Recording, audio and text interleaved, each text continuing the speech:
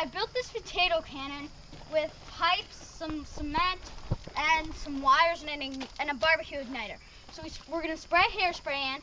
There's a potato in there, and we're gonna press this button, and it's gonna launch. Okay. Okay, ready?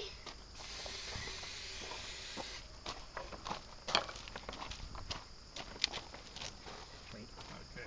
Lock and load. I mean, Uh, ready? Kaboosh! Oh my god. There's nobody up here. Yay! Did you get it, man?